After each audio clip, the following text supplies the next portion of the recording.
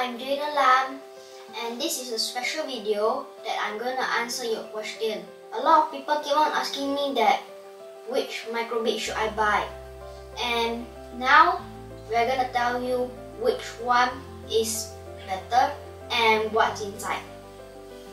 So first is the junior kit. I like it because inside we have just this cable and a microbit. And over here, which the little cat here, it has two little paws which you can open it up. And over here, which is the mouth, you can open it up and put the microbit there. And over here, you see there's a little hole.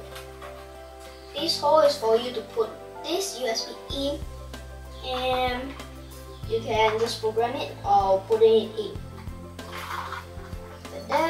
It's the next, which is Microbit Go, which you have a Microbit, which is inside this bag here, and batteries and the case.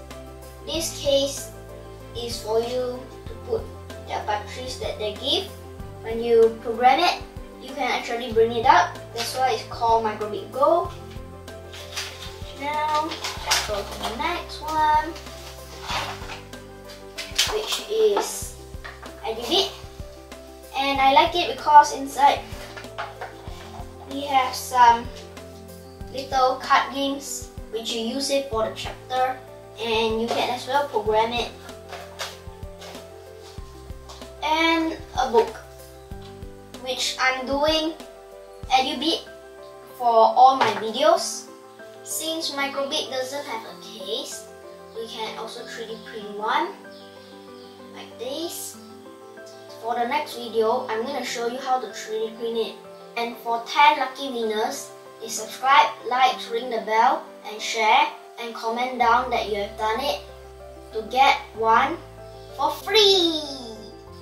So make sure you like, Make sure you stay tuned and watch all my videos. Bye!